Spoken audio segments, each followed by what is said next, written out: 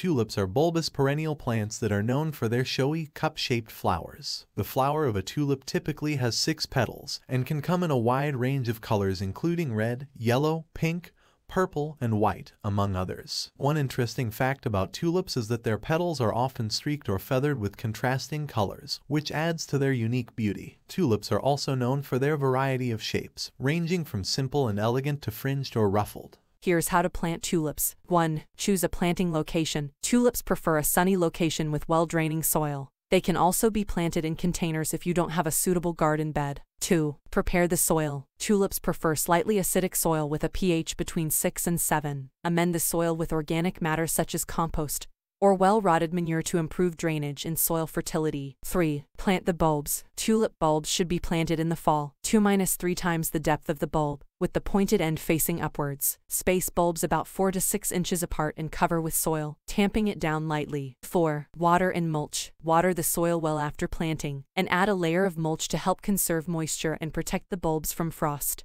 5. Care for your tulips. Tulips require regular watering during their growing season and should be fertilized with a balanced fertilizer in the spring. Deadhead spent blooms to promote healthy growth and discourage seed formation. After the blooms have faded, allow the leaves to die back naturally before cutting them back. 6. Overwintering. Tulips may need to be protected from freezing temperatures in colder climates. You can add a layer of mulch or straw over the bulbs in the fall to help protect them.